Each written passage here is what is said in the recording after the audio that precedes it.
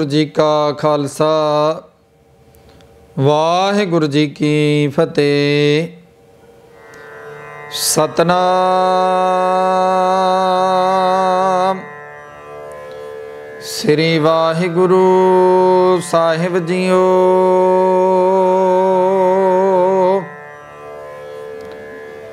ਬੜ ਹੰਸ ਮਹੱਲਾ ਤੀਜਾ।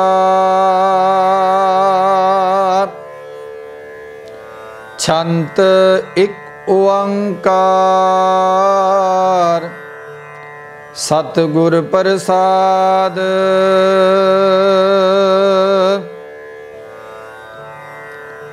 ਆਪਣੇ ਫਿਰ ਕੈ ਰੰਗ ਰਤੀ ਮੂਈਏ। ਸੋਭਾ ਬੰਤੀ ਨਾਰੇ।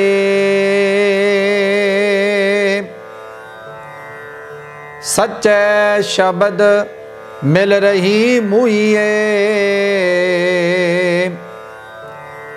ਫਿਰ ਰਾਵੇ ਭਾਏ ਪਿਆਰੇ। ਆਪਣੇ ਪਿਰ ਕੈ ਰੰਗ ਰਤੀ ਮੂਈਏ ਸੋਭਾ ਬੰਤੀ ਨਾਰੇ।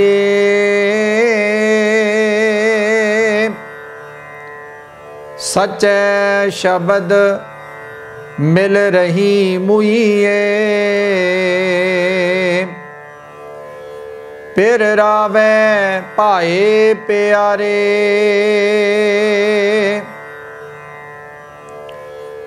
ਸੱਚੇ ਭਾਏ ਪਿਆਰੀ ਕੰਤ ਸਵਾਰੀ। ਹਰ ਹਰ ਸਿਉ ਨਿਹੋ ਰਚਾਇਆ।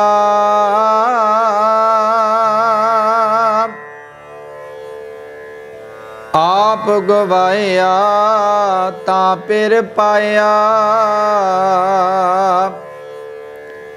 ਗੁਰ ਕੈ ਸ਼ਬਦ ਸਮਾਇਆ।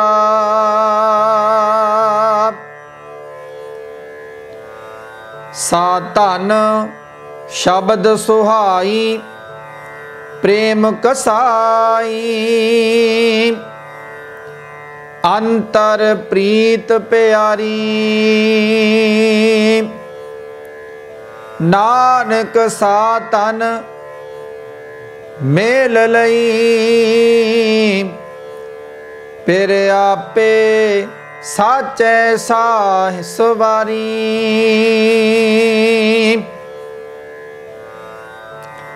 ਨਿਰਗੁਣ ਬੰਤੜੀਏ। ਫਿਰ ਦੇਖ ਹਦੂਰੇ RAM ਗੁਰਮੁਖ ਜਿਨੀ ਰਾਵਿਆ ਮੂਏ ਫਿਰ ਰਵ ਰਹਿਆ ਭਰ ਪੂਰੇ RAM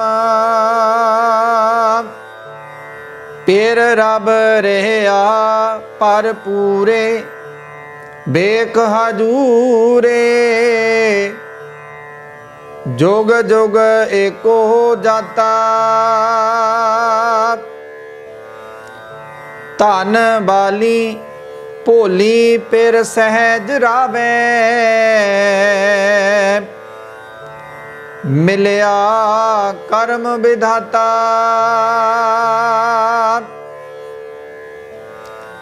ਜਿਨ ਹਾਰ ਰਸ ਚਾਖਿਆ, ਸ਼ਬਦ ਸੋਭਾਖਿਆ ਹਾਰ ਸਰ ਰਹੀ ਭਰ ਪੂਰੇ ਨਾਨਕ ਕਾਮਣ ਸਾ ਪਿਰ ਭਾਵੇ। ਸਭ ਦੇ ਰਹੇ ਹਦੂਰੇ। ਸੁਹਾਗਣੀ ਜਾਏ ਪੁੱਛੋ ਮੂਈਏ ਜਿਨੀ ਵਿੱਚੋਂ ਆਪ ਗਵਾਇਆ।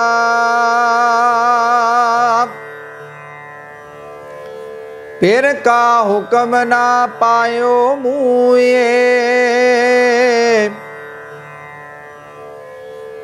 ਜਿਨੇ ਵਿੱਚੋਂ ਆਪ ਨਾ ਗਵਾਇਆ ਜਿਨੇ ਆਪ ਗਵਾਇਆ, ਤਿਨੀ ਪੇਰ ਪਾਇਆ। ਰੰਗ ਸਿਉ ਰਲਿਆ ਮਾਣੇ। ਸਦਾ ਰੰਗ ਰਾਤੀ ਸਹਦੇ ਮਾਤੀ। ਆਨ ਦਿਨ ਨਾਮ ਬਖਾਣੇ ਕਾਮਣ ਵਡ ਭਾਗੀ, ਅੰਤਰ ਲਿਵ ਲਾਗੀ। ਹਰ ਕਾ ਪ੍ਰੇਮ ਸੁਭਾਇਆ।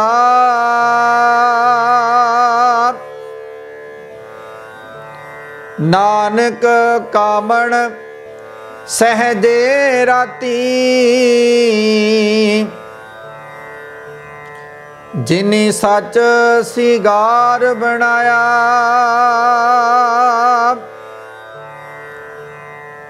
ਹਉਮੈ ਮਾਰ ਮੂਈਏ, ਤੂੰ ਚੱਲ ਗੁਰ ਕੈ ਭਾਏ।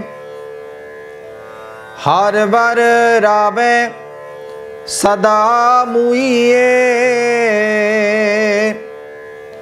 ਨਿਜ ਕਰ ਵਾਸਾ ਪਾਏ। ਨਿਜ ਕਰ ਵਾਸਾ ਪਾਏ, ਸ਼ਬਦ ਵਜਾਏ। ਸਦਾ ਸੁਹਾਗਣ ਨਾਰੀ।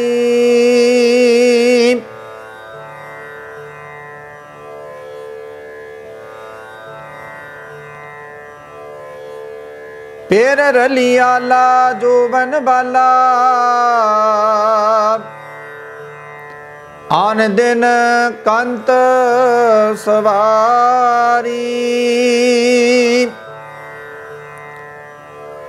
ਹਰ ਵਰ ਸੁਹਾਗੋ ਮਸਤਕ ਭਾਗੋ। ਸੱਚੇ ਸ਼ਬਦ ਸੁਹਾਏ। ਨਾਨਕ ਕਾਮਣ ਹਰ ਰੰਗ ਰਾਤੀ ਜਾ ਚੱਲੇ ਸਤ ਗੁਰ ਭਾਏ।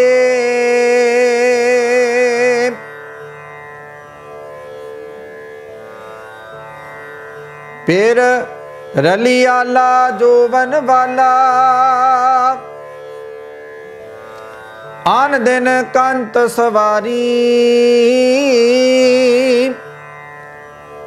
ਹਰ ਵਰ ਸੁਹਾਗੋ ਮਸਤਕ ਭਾਗੋ।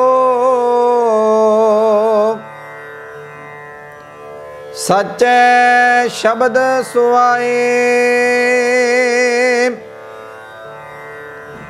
ਨਾਨਕ ਕਾਮਣ ਹਰ ਰੰਗ ਰਾਤੀ। ਜਾ ਚੱਲੇ ਸਤਗੁਰ ਪਾਏ। ਵਾਹਿਗੁਰੂ ਜੀ ਕਾ ਖਾਲਸਾ, ਵਾਹਿਗੁਰੂ ਜੀ ਕੀ ਫਤਿਹ। ਪਰਮ ਸਤਕਾਰਯੋਗ ਗੁਰੂ ਸਵਾਰੀ ਸਾਧ ਸੰਗਤ ਜੀਓ, ਆਪ ਜੀ ਵੱਡੇ ਭਾਗਾਂ ਵਾਲੇ ਹੋ ਕਿ ਆਪ ਜੀ ਨੇ ਅੱਜ ਦੇ ਜੋ ਪਾਵਨ ਮੁਖਵਾਕ ਸਤਿਗੁਰ ਸਾਹਿਬ ਸ੍ਰੀ ਗੁਰੂ ਰਾਮਦਾਸ ਜੀ ਦੇ ਦਰ ਤੋਂ ਸੱਚਖੰਡ ਸ੍ਰੀ ਦਰਬਾਰ ਸਾਹਿਬ ਅੰਮ੍ਰਿਤਸਰ ਤੋਂ ਸਤਿਗੁਰ ਸਾਹਿਬ ਸ੍ਰੀ ਗੁਰੂ ਗ੍ਰੰਥ ਸਾਹਿਬ ਜੀ ਮਹਾਰਾਜ ਅੰਮ੍ਰਿਤ ਵੇਲੇ ਸੋਹਣੇ ਸਿੰਘਾਸਣ ਤੇ ਸੁਭਾਏਮਾਨ ਹੋ ਕੇ ਅੰਮ੍ਰਿਤਮਈ ਬਚਨਾਂ ਦੀ ਦਾਤ, ਸਮੁੱਚੇ ਸੰਸਾਰ ਜਗਤ ਨੂੰ, ਕਾਇਨਾਤ ਨੂੰ ਬਖਸ਼ਿਸ਼ ਕੀਤੀ ਹੈ। ਸੋ ਆਪ ਸਮੂਹ ਸਾਧ ਸੰਗਤ ਨੇ ਉਹ ਅੰਮ੍ਰਿਤਮਈ ਪਾਵਨ ਬਚਨ, ਪਾਵਨ ਮੁਖਵਾਕ ਸਤਿਗੁਰਾਂ ਨੇ ਜੋ ਬਖਸ਼ਿਸ਼ ਕੀਤੇ ਸਨ, ਸੋ ਆਪ ਸਮੂਹ ਸਾਧ ਸੰਗਤ ਨੇ ਇਹਨਾਂ ਪਾਵਨ ਬਚਨਾਂ ਨੂੰ ਸਰਵਣ ਕੀਤਾ ਹੈ ਜੀ। ਸੋ ਆਓ ਸਾਧ ਸੰਗਤ ਜੀਓ ਇਹਨਾਂ ਪਾਵਨ ਬਚਨਾਂ ਦੀ ਪਹਿਲੀਆਂ ਤੁਕਾਂ ਦੇ ਨਾਲ ਸਾਂਝ ਕਰੀਏ। ਸਾਰੇ ਹੀ ਆਪਣੀ ਸੁਰਤ ਨੂੰ ਸਤਿਗੁਰੂ ਗੁਰੂ ਰਾਮਦਾਸ ਜੀ ਦੇ ਦਰ ਤੇ ਸੁਰਤਮਈ ਹਾਜ਼ਰੀਆਂ ਲਵਾਉਣ ਦਾ ਯਤਨ ਕਰੀਏ ਤੇ ਸੁਰਤ ਨੂੰ ਸਤਿਗੁਰਾਂ ਦੇ ਚਰਨਾਂ ਵਿੱਚ ਟਿਕਾਈਏ। ਤਾਂ ਕਿ ਗੁਰੂ ਪਾਤਸ਼ਾਹ ਜੀ ਕਿਰਪਾ ਕਰਨ ਸਾਡੀਆਂ ਮਨ ਬਿਰਤੀਆਂ ਇਕਾਗਰ ਹੋਣ ਤੇ ਉਸ ਪਾਰ ਬ੍ਰਹਮ, ਉਸ ਅਕਾਲ ਪੁਰਖ ਪਰਮਾਤਮਾ ਵਿੱਚ ਇਹ ਸਾਡਾ ਮਨ ਵੀ ਲੀਨ ਹੋ ਜਾਵੇ ਤਾਂ ਕਿ ਸਾਡਾ ਦੁਨੀਆ ਤੇ ਆਇਆ ਸਫਲਾ ਹੋ ਜਾਵੇ। ਸੋ ਅੱਜ ਦੇ ਇਹ ਪਾਵਨ ਬਚਨ, ਪਾਵਨ ਮੁਖਵਾਕ ਸਤਿਗੁਰੂ ਸਾਹਿਬ ਸ੍ਰੀ ਗੁਰੂ ਗ੍ਰੰਥ ਸਾਹਿਬ ਮਹਾਰਾਜ ਜੀ ਦੇ ਪਾਵਨ ਅੰਗ 567 ਤੇ ਸੁਭਾਈਮਾਨ ਹਨ। ਸੋ ਆਓ ਸਾਧ ਸੰਗਤ ਜੋ ਇਹਨਾਂ ਪਾਵਨ ਮੁਖਵਾਕ ਦੀ ਸੰਖੇਪ ਦੇ ਵਿੱਚ ਵਿਚਾਰ ਨਾਲ ਸਾਂਝ ਕਰੀਏ ਜੀ। ਪੜਹੰਸ ਮਹੱਲਾ ਤੀਜਾ ਸ਼ਾਂਤ ਇੱਕ ਓੰਕਾਰ ਸਤਿਗੁਰ ਪ੍ਰਸਾਦ।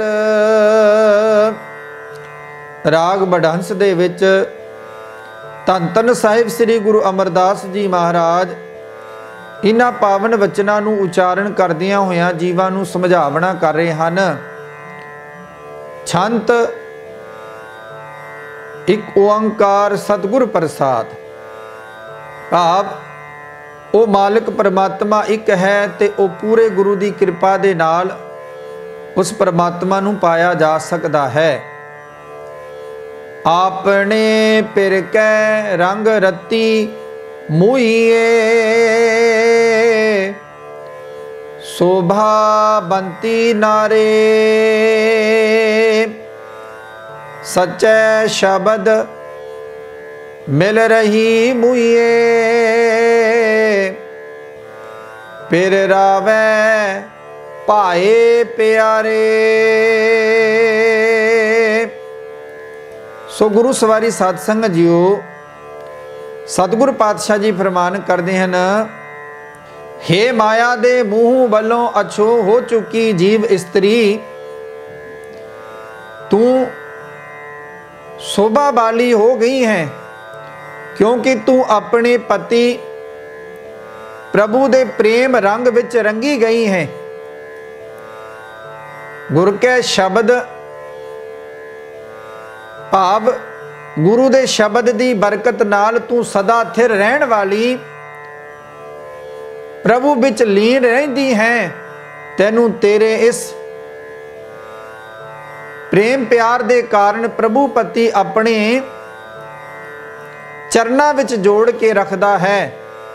ਸਤਿਗੁਰ ਗੁਰੂ ਪਾਤਸ਼ਾਹ ਜੀ ਫਰਮਾਉਂਦੇ ਹਨ, ਭਾਈ, ਜਿਹੜੀ ਜੀਵ ਇਸਤਰੀ, ਉਹ ਪਰਮਾਤਮਾ ਪ੍ਰਭੂ ਨੂੰ ਪਾ ਜਾਂਦੀ ਹੈ, ਪ੍ਰਭੂ ਹਮੇਸ਼ਾ ਉਸ ਨੂੰ ਆਪਣੇ ਚਰਨਾਂ ਵਿੱਚ ਥਾਂ ਬਖਸ਼ਿਸ਼ ਕਰ ਦਿੰਦਾ ਹੈ।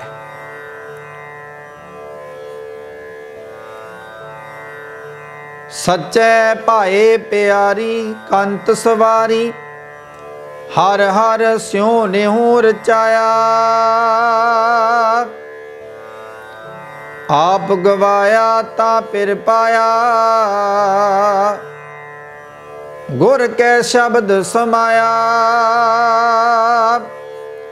ਪਾਤਸ਼ਾਹ ਜੀ ਫਰਮਾਨ ਕਰਦੇ ਨੇ, ਭਾਈ, ਜਿਹੜੀ ਸੱਚ ਨਾਲ ਰੰਗੀ ਜਾਂਦੀ ਹੈ ਜੀਵ ਇਸਤਰੀ, ਉਸ ਪ੍ਰਭੂ ਪਰਮਾਤਮਾ ਦੇ ਪਿਆਰ ਵਿੱਚ ਜਿਸ ਦੇ ਅੰਦਰ ਨੇਹੂ ਭਾਵ ਜਿਸ ਦੀ ਜੀਵ ਆਤਮਾ ਉਸ ਨਾਮ ਵਿੱਚ ਰੰਗੀ ਗਈ ਤੇ ਜਿਸ ਨੇ ਆਪਾ ਭਾਵ ਗਵਾ ਦਿੱਤਾ ਤੇ ਆਪਣੇ ਆਪ ਨੂੰ ਗੁਰੂ ਦੇ ਸ਼ਬਦ ਦੇ ਵਿੱਚ ਇਕਮਿਕ ਕਰ ਲਿਆ, ਉਹ ਜੀਵ ਇਸਤਰੀ ਧੰਤਾ ਦੇ ਯੋਗ ਹੈ, ਉਹ ਸੋਭਾ ਵਾਲੀ ਹੈ। ਸਾ ਧਨ ਸ਼ਬਦ ਸੁਹਾਈ, ਪ੍ਰੇਮ ਕਸਾਈ ਅੰਤਰ ਪ੍ਰੀਤ ਪਿਆਰੀ। ਨਾਨਕ ਸਾਤਨ ਮੇਲ ਲਈ, ਫਿਰ ਆਪੇ ਸੱਚੇ ਸਾਹੋ ਸਵਾਰੀ। ਉਹ ਮੇਰਾ ਮਾਲਕ ਪਰਮਾਤਮਾ, ਜਿਸ ਤੇ ਕਿਰਪਾ ਕਰ ਦਿੰਦਾ ਹੈ ਸਾ ਧਨ ਸ਼ਬਦ ਸੁਹਾਈ।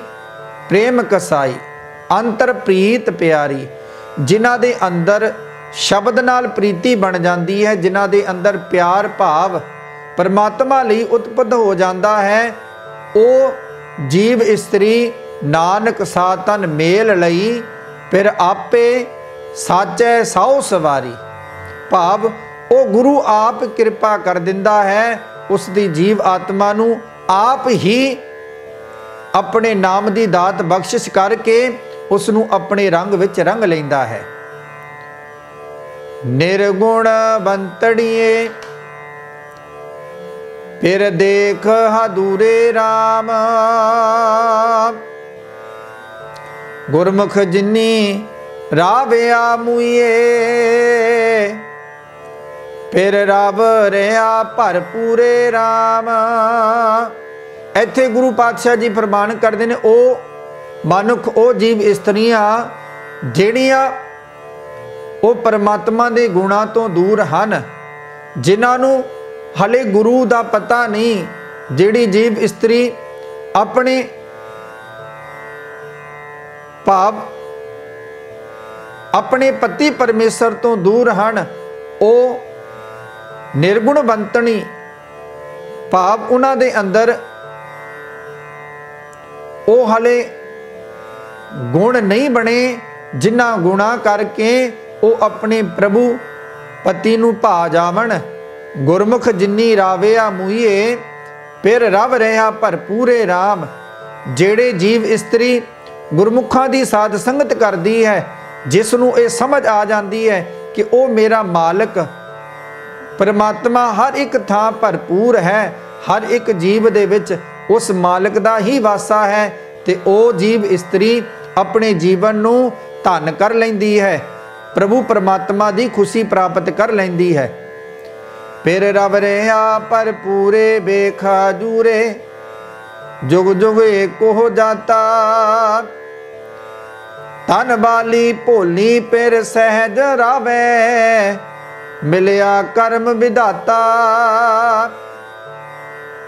ਜਿਹੜੀ ਜੀਵ ਆਪਣੇ ਪ੍ਰਭੂ ਪਤੀ ਦੇ ਪਿਆਰ ਵਿੱਚ ਰੰਗੀ ਗਈ, ਭਰਪੂਰ ਹੋ ਗਈ, ਵੇਖ ਹਜੂਰੇ ਜੁਗ ਜੁਗ ਇੱਕੋ ਜਾਤਾ, ਫਿਰ ਉਸ ਨੂੰ ਇੱਕੋ ਹੀ ਪਰਮਾਤਮਾ ਹਾਜ਼ਰ ਨਾਜ਼ਰ ਨਜ਼ਰ ਆਉਂਦਾ ਹੈ ਤੇ ਉਹ ਸਹਿਜ ਵਿੱਚ ਭੋਲੀ, ਸਹਿਜ ਅਵਸਥਾ ਨੂੰ ਧਾਰਨ ਕਰਕੇ ਉਸ ਕਰਮ ਵਿਦਾਤਾ ਪ੍ਰਭੂ ਨੂੰ ਪਾ ਲੈਂਦੀ ਹੈ।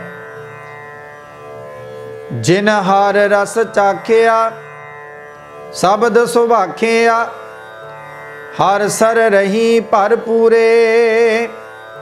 ਨਾਨਕ ਕਾਮਣ ਸਾ ਪਿਰ ਭਾਵੇ, ਸਬਦੇ ਰਹਿ ਹਦੂਰੇ। ਗੁਰੂ ਪਾਤਸ਼ਾਹ ਫਰਮਾਨ ਕਰਦੇ ਨੇ ਦੂਸਰੇ ਪਦੇ ਦੇ ਵਿੱਚ, ਜਿਨ੍ਹਾਂ ਨੇ ਉਸ ਪਰਮਾਤਮਾ ਦੇ ਨਾਮ ਨੂੰ, ਰਸ ਨੂੰ ਚਾਖਿਆ ਹੈ, ਸ਼ਬਦ ਦੇ ਰਸ ਨੂੰ ਮਾਣਿਆ ਹੈ, ਉਹਨਾਂ ਦੇ ਲਈ ਉਹ ਅੰਮ੍ਰਿਤਮਈ ਪਰਮਾਤਮਾ ਦਾ ਨਾਮ ਉਹਨਾਂ ਦੇ ਜੀਵਨ ਨੂੰ ਧਨ ਕਰ ਦਿੰਦਾ ਹੈ ਤੇ ਉਹ ਸਦਾ ਹੀ ਸੁਹਾਗ ਵਾਲੀਆਂ ਜੀਵ ਇਸਤਰੀਆਂ ਬਣੀਆਂ ਰਹਿੰਦੀਆਂ ਨਾਨਕ ਕਾਮਣ ਸਾ ਪਿਰ ਭਾਵੈ ਸਭ ਦੇ ਰਹਿ ਹਦੂਰੇ। ਭਾਵ ਉਹ ਹਮੇਸ਼ਾ ਹੀ ਉਸ ਮਾਲਕ ਦੇ ਗੁਣ ਗਾਉਂਦੀਆਂ ਰਹਿੰਦੀਆਂ ਹਨ ਤੇ ਉਸ ਮਾਲਕ ਦੀ ਸਿਫਤ ਸਲਾਹ ਭਜਨ ਬੰਦਗੀ ਵਿੱਚ ਲੀਨ ਰਹਿੰਦੀਆਂ ਹਨ, ਇਸ ਕਰਕੇ ਉਹ ਸਦਾ ਹੀ ਸੋਭਾ ਮਾਣਦੀਆਂ ਰਹਿੰਦੀਆਂ ਹਨ। ਸੁਹਾਗਣੀ ਜਾਏ ਪੁੱਛੋ ਮੂਈਏ, ਜਿਨੀ ਵਿੱਚੋਂ ਆਪ ਗਵਾਇਆ। ਫਿਰ ਕਾ ਹੁਕਮ ਨਾ ਪਾਇਓ ਮੂਈਏ ਜਿਨੀ ਵਿੱਚੋਂ ਆਪ ਨਾ ਗਵਾਇਆ। ਗੁਰੂ ਪਾਤਸ਼ਾਹ ਬਰਮਾਨ ਕਰਨ ਜਿਹੜੇ ਗੁਰਮੁਖ ਜਨ ਹਨ, ਜਿਨ੍ਹਾਂ ਨੂੰ ਉਹ ਪ੍ਰਭੂ ਪ੍ਰਮਾਤਮਾ ਪ੍ਰਾਪਤ ਹੋ ਗਿਆ ਹੈ, ਜਿਨ੍ਹਾਂ ਤੇ ਉਸ ਮਾਲਕ ਨੇ ਕਿਰਪਾ ਕਰ ਦਿੱਤੀ ਹੈ, ਉਹ ਸੁਹਾਗ ਵਾਲੀਆਂ ਹਨ, ਸੁਹਾਗਣ ਹਨ। ਉਹਨਾਂ ਨੂੰ ਜਾ ਕੇ ਪੁੱਛੋ ਕਿ ਪ੍ਰਭੂ ਦਾ ਹੁਕਮ ਕਿਵੇਂ ਪਾਇਆ ਜਾਂਦਾ ਹੈ ਤੇ ਉਸ ਹੁਕਮ ਨੂੰ ਕਿਵੇਂ ਕਮਾਇਆ ਜਾਂਦਾ ਹੈ। ਜਿਨੀ ਆਪ ਗਵਾਇਆ, ਤਿੰਨੀ ਪਿਰ ਪਾਇਆ, ਰੰਗ ਸਿਉ ਰਲੀਆਂ ਮਾਣੇ। ਜਦੋਂ ਤੁਸੀਂ ਉਹਨਾਂ ਨੂੰ ਗੁਰਮੁਖਾਂ ਨੂੰ ਇਹ ਪੁੱਛਿਆ ਤੇ ਉਹਨਾਂ ਵੱਲੋਂ ਜਵਾਬ ਆਇਆ, ਜਿਨ੍ਹਾਂ ਨੇ ਆਪਣੇ ਆਪ ਨੂੰ ਗਵਾ ਦਿੱਤਾ, ਜਿਨ੍ਹਾਂ ਨੇ ਆਪਾ ਭਾਵ ਮਾਰ ਕੇ ਉਸ ਮਾਲਕ ਦੇ ਸ਼ਬਦ ਵਿੱਚ ਰੰਗੇ ਗਏ, ਉਹ ਸਦਾ ਹੀ ਉਸ ਮਾਲਕ ਨੂੰ ਭਾ ਜਾਂਦੀਆਂ ਹਨ। ਇਹੋ ਜੀਆਂ ਜੀਵ ਇਸਤਰੀਆਂ ਉਸ ਮਾਲਕ ਨੂੰ ਸੋਭਦੀਆਂ ਹਨ, ਜਿਹੜੀਆਂ ਉਸ ਮਾਲਕ ਦੀਆਂ ਸਿਫਤ ਸਲਾਹ ਕਰਦੀਆਂ ਹੋਣ। ਸਦਾ ਰੰਗ ਰਾਤੀ ਸਹਦੇ ਮਾਤੀ ਅਨ ਦਿਨ ਨਾਮ ਬਖਾਣੇ। ਕਾਮਣ ਵਡ ਭਾਗੀ ਅੰਤਰ ਲਿਵ ਲਾਗੀ, ਹਰ ਕਾ ਪ੍ਰੇਮ ਸੁਭਾਇਆ। ਗੁਰੂ ਪਾਤਸ਼ਾਹ ਜੀ ਫਰਮਾਨ ਕਰਦੇ ਨੇ, ਭਾਈ ਜਿਨੀ ਆਪ ਗਵਾਇਆ, ਤਿੰਨੀ ਫਿਰ ਪਾਇਆ। ਰੰਗ ਸੋ ਰਲੀਆਂ ਮਾਣੇ। ਜਿਨ੍ਹਾਂ ਨੇ ਆਪਣਾ ਆਪ ਗਵਾ ਦਿੱਤਾ, ਉਹ ਇਸ ਰੰਗ ਦੀਆਂ ਰਲੀਆਂ ਵਿੱਚ ਹਮੇਸ਼ਾ ਆਨੰਦ ਪ੍ਰਾਪਤ ਕਰਦੇ ਰਹਿੰਦੇ ਨੇ, ਹਮੇਸ਼ਾ ਹੀ ਆਨੰਦ ਮਾਣਦੇ ਹਨ। ਸਦਾ ਰੰਗ ਰਾਤੀ ਸਹਦੇ ਮਾਤੀ, ਜਿਨ੍ਹਾਂ ਦੀ ਜੀਵ ਆਤਮਾ ਪਰਮਾਤਮਾ ਦੇ ਨਾਮ ਵਿੱਚ ਰੰਗੀ ਗਈ ਸਹਿਜ ਵਿੱਚ ਉਹਨਾਂ ਨੂੰ ਪਰਮਾਤਮਾ ਦੀ ਨਾਮ ਦੀ ਦਾਤ ਪ੍ਰਾਪਤ ਹੋ ਗਈ, ਫਿਰ ਉਹ ਹਮੇਸ਼ਾ ਹੀ ਆਨੰਦ ਨਾਮ ਵਖਾਣੇ, ਉਹ ਪਰਮਾਤਮਾ ਦੇ ਗੁਣ ਹੀ ਗਾਉਂਦੇ ਰਹਿੰਦੇ ਹਨ। ਕਾਮਣ ਬੜ ਅੰਤਰ ਲਿਵ ਲਾਗੀ, ਹਰ ਕਾ ਪ੍ਰੇਮ ਸੁਭਾਇਆ, ਨਾਨਕ ਕਾਮਣ ਸਹਦੇ ਰਾਤੀ, ਜਿਨ ਸੱਚ ਸਿੰਗਾਰ ਬਣਾਇਆ। ਗੁਰੂ ਪਾਤਸ਼ਾਹ ਜੀ ਪ੍ਰਮਾਨ ਕਰਦੇ ਨੇ, ਉਹਨਾਂ ਦਾ ਸਿੰਗਾਰ ਹੀ ਪਰਮਾਤਮਾ ਦਾ ਨਾਮ ਬਣ ਜਾਂਦਾ ਹੈ, ਜਿਨ੍ਹਾਂ ਨੂੰ ਗੁਰਮੁਖਾਂ ਦੀ ਸੰਗਤ ਪ੍ਰਾਪਤ ਹੋ ਜਾਂਦੀ ਹੈ, ਜਿਨ੍ਹਾਂ ਦੇ ਅੰਦਰ ਪਰਮਾਤਮਾ ਦੇ ਨਾਮ ਨਾਲ ਲਿਵ ਲੱਗ ਜਾਂਦੀ ਹੈ, ਉਹ ਹਮੇਸ਼ਾ ਹੀ ਸੰਸਾਰ ਵਿੱਚ ਸੋਭਾ ਪਾਉਂਦੀਆਂ ਹਨ। ਹਉ ਮੈਂ ਮਾਰ ਮੁਈਏ, ਤੂੰ ਚੱਲ ਗੁਰ ਕੈ ਭਾਏ। ਹਰ ਵਰ ਰਾਵੇ ਸਦਾ ਮੁਈਏ। ਜਿਨ ਨਿਜ ਕਰ ਵਾਸਾ ਪਾਏ। ਜਦੋਂ ਇਨਸਾਨ ਆਪਣੇ ਅੰਦਰ ਦੀ ਹਉਮੈ ਨੂੰ ਮਾਰ ਲਵੇ, ਹਉਮੈ ਖਤਮ ਹੋ ਜਾਵੇ, ਤੇ ਗੁਰੂ ਦੇ ਹੁਕਮ ਨੂੰ ਕਮਾਉਣ ਲੱਗ ਪਵੇ, ਗੁਰੂ ਦੇ ਹੁਕਮ ਦੀ ਕਾਰ ਕਰੇ, ਗੁਰੂ ਦੇ ਹੁਕਮ ਵਿੱਚ ਚੱਲੇ, ਤਾਂ ਗੁਰੂ ਪਾਤਸ਼ਾਹ ਜੀ ਫਰਮਾਨ ਕਰਦੇ ਨੇ, ਹਰ ਵਰ ਰਾਵੇ ਸਦਾ ਮੂਹੇ, ਨਿਜ ਕਰ ਵਾਸਾ ਪਾਏ। ਫਿਰ ਉਸ ਪਰਮਾਤਮਾ ਦੇ ਦਰ ਤੇ ਤੈਨੂੰ ਥਾਂ ਪ੍ਰਾਪਤ ਹੋ ਜਾਂਦੀ ਹੈ।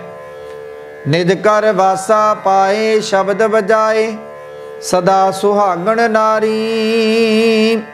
ਇੱਥੇ ਪਾਤਸ਼ਾਹ ਜੀ ਫਰਮਾਨ ਕਰਦੇ ਨੇ, ਭਾਈ, ਉਹਨਾਂ ਨੂੰ ਪਰਮਾਤਮਾ ਦੇ ਚਰਨਾਂ ਵਿੱਚ ਥਾਂ ਮਿਲਦੀ ਹੈ।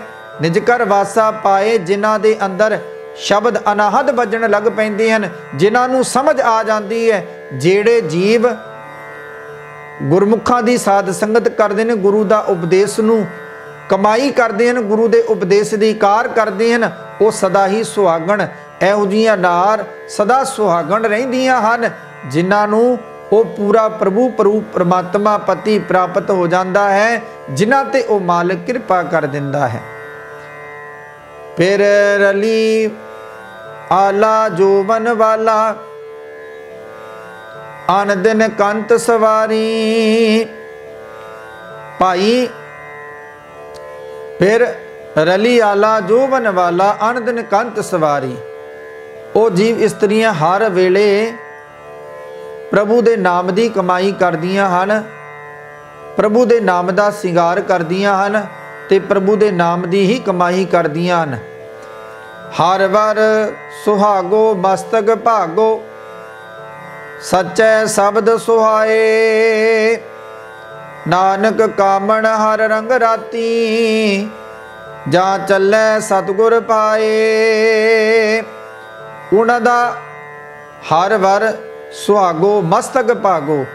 ਜਿਨ੍ਹਾਂ ਦਾ ਸੁਹਾਗ ਉਹ ਪ੍ਰਭੂ ਪਰਮਾਤਮਾ ਆਪ ਬਣ ਜਾਂਦਾ ਹੈ, ਜਿਨ੍ਹਾਂ ਦਾ ਮਾਲਕ ਉਹ ਆਪ ਪਰਮਾਤਮਾ ਬਣ ਜਾਂਦਾ ਹੈ। ਜਿਸ ਤਰ੍ਹਾਂ ਗੁਰੂ ਪਾਤਸ਼ਾਹ ਜੀ ਪ੍ਰਮਾਨ ਕਰਦੇ ਨੇ, ਰਾਖਾ ਏਕ, ਹਮਾਰਾ ਸੁਆਮੀ, ਸਗਲ ਘਟਾਂਕਾ ਅੰਤਰਜਾਮੀ ਭਾਵ ਜਿਨ੍ਹਾਂ ਦਾ ਮਾਲਕ ਉਹ ਪਰਮਾਤਮਾ ਆਪ ਬਣ ਜਾਵੇ, ਉਹਨਾਂ ਦੇ ਭਾਗ ਜਿਹੜੇ ਹਨ ਚੰਗੇ ਹਨ, ਉਹ ਸੱਚੇ ਸ਼ਬਦ ਨਾਲ ਹਮੇਸ਼ਾ ਹੀ ਰੰਗੀਆਂ ਰਹਿੰਦੀਆਂ ਹਨ, ਸੱਚ ਦੀ ਕਮਾਈ ਕਰਦੀਆਂ ਹਨ ਤੇ ਨਾਨਕ ਕਾਮਣ ਹਰ ਰੰਗ ਰਾਤੀ ਜਾਂ ਚੱਲੇ ਸਤਿਗੁਰ ਪਾਏ। ਉਹ ਪ੍ਰਭੂ ਦੇ ਰੰਗ ਵਿੱਚ, ਹਰੀ ਪਰਮਾਤਮਾ ਦੇ ਰੰਗ ਵਿੱਚ ਰੰਗੀਆਂ ਜਾਂਦੀਆਂ ਹਨ ਤੇ ਸਤਿਗੁਰ ਦੇ ਹੁਕਮ ਵਿੱਚ ਚੱਲ ਕੇ ਆਪਣੇ ਆਪ ਨੂੰ ਭਾਵ ਭਾਗ ਵਾਲੀਆਂ ਸਮਝਦੀਆਂ ਹਨ, ਜਿਨ੍ਹਾਂ ਤੇ ਗੁਰੂ ਨੇ ਕਿਰਪਾ ਕਰ ਦਿੱਤੀ, ਜਿਨ੍ਹਾਂ ਤੇ ਗੁਰੂ ਨੇ, ਉਸ ਮਾਲਕ ਨੇ ਕਿਰਪਾ ਕਰ ਦਿੱਤੀ, ਭਾਈ ਗੁਰੂ ਪਾਤਸ਼ਾਹ ਜੀ ਫਰਮਾਨ ਕਰਦੇ ਨੇ ਫਿਰ ਇਹੋ ਜੀਆਂ ਜੀਵ ਇਸਤਰੀਆਂ ਧਨਤਾ ਦੇ ਯੋਗ ਹਨ। ਪਤੀ ਸੁਹਾਗ ਜਦੋਂ ਉਹਨਾਂ ਨੂੰ ਮਿਲ ਜਾਂਦਾ ਹੈ, ਉਸ ਦੇ ਮੱਥੇ ਉੱਤੇ ਭਾਗ ਜਾਗ ਪੈਂਦੇ ਹਨ, ਗੁਰੂ ਦੇ ਸ਼ਬਦ ਦੇ ਰਾਹੀਂ ਉਹ ਸਦਾ ਫਿਰ ਪ੍ਰਭੂ ਵਿੱਚ ਲੀਨ ਹੋ ਕੇ ਸੋਹਣੇ ਆਤਮਿਕ ਜੀਵਨ ਵਾਲੀਆਂ ਜੀਵ ਇਸਤਰੀਆਂ ਬਣ ਜਾਂਦੀਆਂ ਹਨ, ਜਿਨ੍ਹਾਂ ਤੇ ਉਹ ਮਾਲਕ, ਉਹ ਪਰਮਾਤਮਾ ਕਿਰਪਾ ਕਰ ਦਿੰਦਾ ਹੈ, ਆਪਣੇ ਆਪ ਵਿੱਚ ਉਹਨਾਂ ਨੂੰ ਮੇਲ ਲੈਂਦਾ ਹੈ। ਸੋ ਸਤ ਸੰਗਤ ਜੋ ਅੱਜ ਦੇ ਪਾਵਨ ਮੁਖਵਾਗ ਦੀ ਵਿਚਾਰ ਨਾਲ ਸਾਂਝ ਕੀਤੀ ਹੈ। ਆਪ ਜੀ ਵੱਡੇ ਭਾਗਾਂ ਵਾਲੇ ਹੋ ਗੁਰੂ ਪਾਤਸ਼ਾਹ ਜੀ ਕਿਰਪਾ ਕਰਨ। ਸਾਨੂੰ ਵੀ ਆਪਣੇ ਚਰਨਾਂ ਦਾ ਭੋਰਾ ਬਣਾ ਲੈਣ, ਸਾਨੂੰ ਵੀ ਆਪਣੇ ਚਰਨਾਂ ਕਮਲਾਂ ਦਾ ਪਿਆਰ ਸਾਨੂੰ ਬਾਣੀ ਅਤੇ ਬਾਣੀ ਨਾਲ ਪਿਆਰ ਆ ਜਾਵੇ ਤਾਂ ਕਿ ਅਸੀਂ ਵੀ ਗੁਰੂ ਦੇ ਚਰਨਾਂ ਵਿੱਚ ਪ੍ਰਵਾਨ ਹੋ ਜਾਈਏ। ਸੋ ਸਤ ਸੰਗ ਜੋ ਬਾਣੀ ਸਤਗੁਰਾਂ ਦੀ ਹੈ, ਭੁੱਲਾਂ ਦਾਸ ਦੀਆਂ ਬਾਣੀ ਨੂੰ ਪੱਲੇ ਬੰਨ ਲਿਓ, ਭੁੱਲਾਂ ਦਾਸ ਦੀਆਂ ਝੋਲੀਆਂ ਪਾ ਦਿਓ ਤੇ ਸਤ ਸੰਗ ਜੋ, ਜੇ ਆਪ ਜੀ ਦਾ ਕੋਈ ਚੰਗਾ ਸੁਝਾਅ, ਵਿਚਾਰ ਹੋਵੇ ਤੇ ਆਪ ਜੀ ਚੱਕਦੇ ਟੀਵੀ ਦੀ ਵੈਬਸਾਈਟ ਤੇ ਦੇ ਸਕਦੇ ਹੋ ਜਾਂ ਦਾਸ ਨਾਲ ਵੀ ਸਿੱਧਿਆਂ ਕਰਕੇ ਸੰਪਰਕ ਕਰ ਸਕਦੇ ਹੋ। ਦਾਸ ਦਾ ਨੰਬਰ ਹੈ 8750106375 ਸੋ ਆਪ ਜੀ ਨੂੰ ਬੇਨਤੀ ਹੈ ਕਿ ਸਾਧ ਸੰਗਤ ਕੋਈ ਵੀ ਸੁਝਾਅ ਹੋਵੇ, ਆਪ ਜੀ ਇਸ ਨੰਬਰ ਤੇ ਦੇ ਸਕਦੇ ਹੋ। ਇਹ ਇੰਡੀਆ ਦਾ ਨੰਬਰ ਹੈ 8750106375 ਸੋ ਸਾਧ ਸੰਗਤ ਜੀ ਆਓ ਬੁਲਾਈਏ ਫਤਿਹ। ਵਾਹਿਗੁਰੂ ਜੀ ਕਾ ਖਾਲਸਾ, ਵਾਹਿਗੁਰੂ ਜੀ ਕੀ ਫਤਿਹ।